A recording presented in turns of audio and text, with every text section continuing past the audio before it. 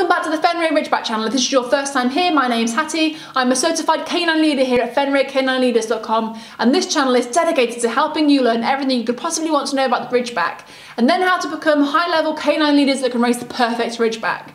So if you're a lifelong Ridgeback lover, thinking about getting one, or you've just started your journey with your new Ridgeback, then this channel is for you. So make sure you hit that subscribe button and turn the notification bell so you never miss a future Ridgeback video.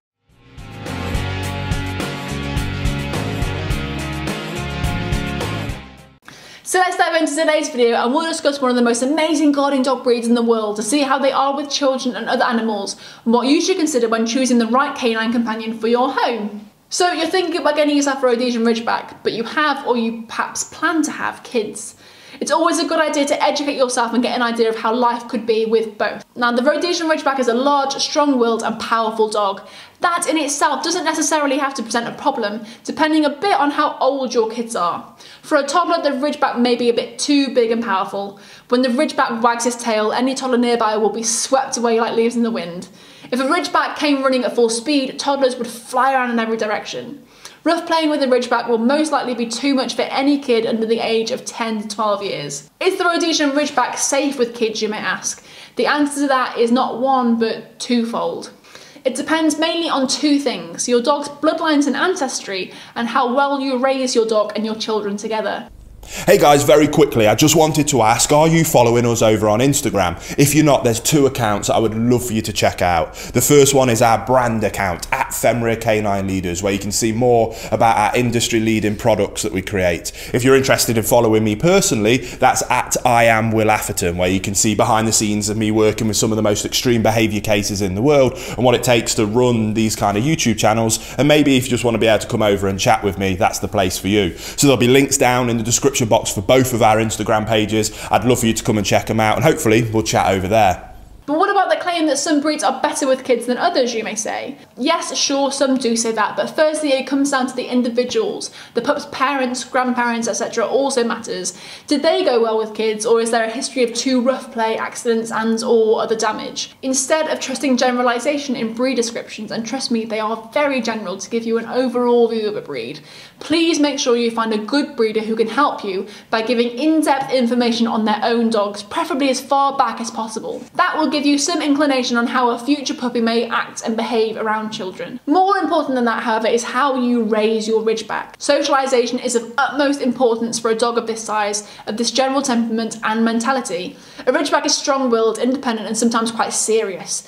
If you want him to be able to socialise with your children, you need to spend quite some time teaching him how to do it. Equally important is teaching your kids and their friends on how to behave around your Ridgeback. And trust me, this is extremely important. You don't want your children to lack respect of your dog because of these traits I just mentioned. It takes a long time before your child is big, old and strong enough to control your Ridgeback. And for this reason, your child has to learn to respect the dog, when to leave the dog alone, etc.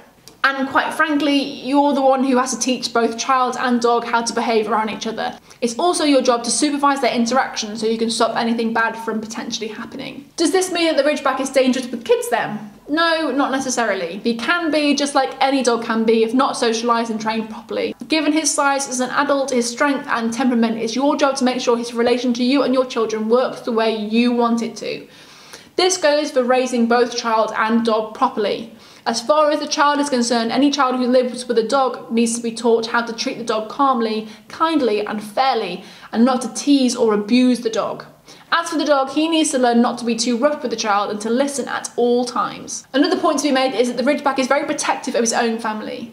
Please make sure you remember that when the child has friends over and there's rough play between the kids, your Ridgeback may very well get the idea he needs to protect his child from the others, and all of a sudden you could have an accident on your hands.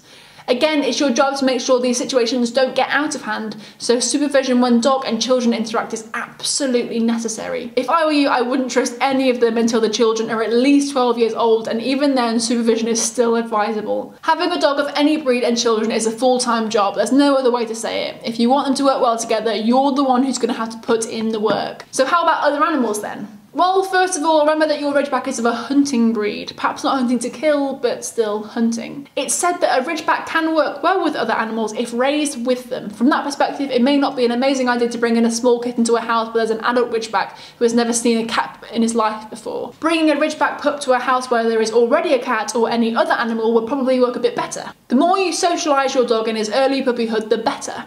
Confront him with as many different environments, people, and animals as possible, and the likelihood that he'll work better with them as an adult grow considerably. Basically, what I want you to take away from this video is how your dog behaves around children and other animals depends very much on you and what you teach him. Now, instincts can be difficult to train away, but if you share your life with a male Ridgeback, you may want to keep an eye for other male unneutered dogs since he can lash out for no apparent reason whatsoever. This is one of many good reasons why it's imperative to always be the one in control between you and your Ridgeback. I hope you enjoyed today's video and if so make sure you hit that like button, get involved down in the comment section below and don't forget that if you're new here to make sure you subscribe. We have two dedicated Ridgeback videos coming here every week. So I can't wait to talk to you again on the next episode of the Fenrir Ridgeback channel.